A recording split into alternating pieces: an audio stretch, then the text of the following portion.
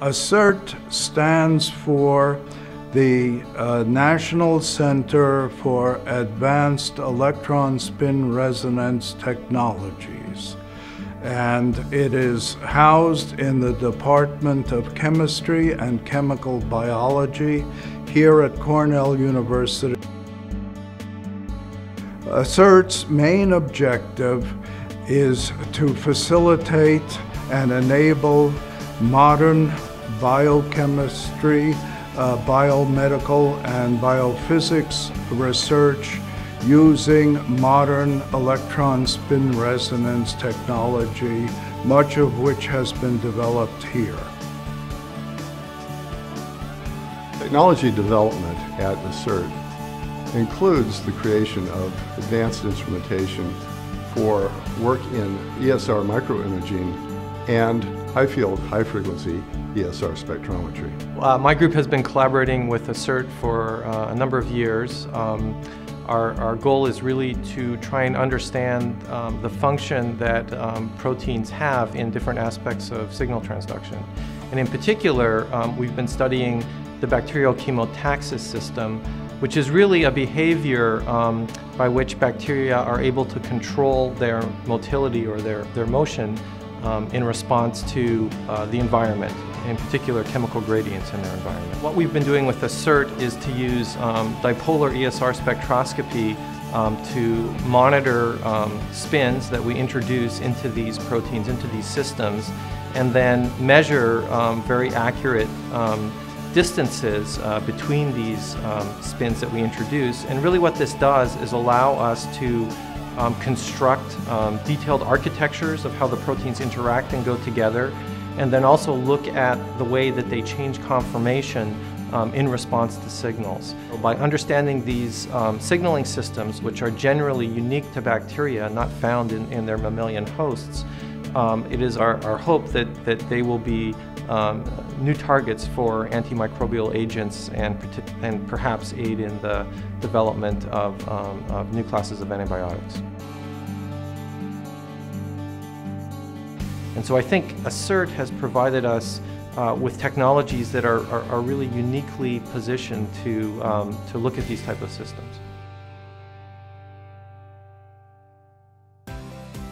I study intrinsically unstructured human alpha-synuclein and tau proteins, which are expressed in neuron cells predominantly. Mission of the project is to study the structure and function of those proteins in native-like environments. Um, the emphasis is on uh, structural transitions that take place uh, when those proteins interact with the biological membranes. The practical applications of these proteins, both of them are involved in neurodegenerative diseases.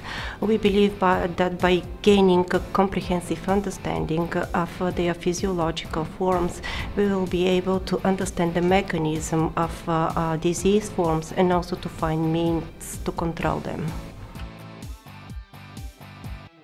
I had I was uh, fortunate to work with one to use one of the most sensitive spectrometers, pulse spectrometers, uh, available at ACERT. So this allowed us to uncover unique information, structural information about alpha-synuclein and tau protein. They are very flexible. They have uh, high structural plasticity and difficult, even not amenable to study by other biophysical methods.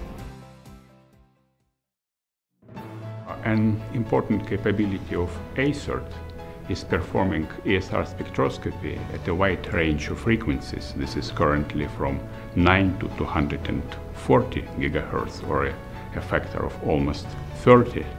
Uh, the purpose of this uh, project is to take different snapshots of molecular motions for biological studies.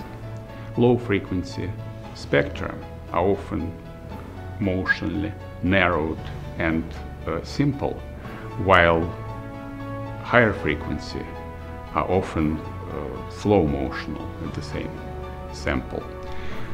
We have successfully used this multi-frequency approach for studying of complex dynamics of uh, proteins and DNA.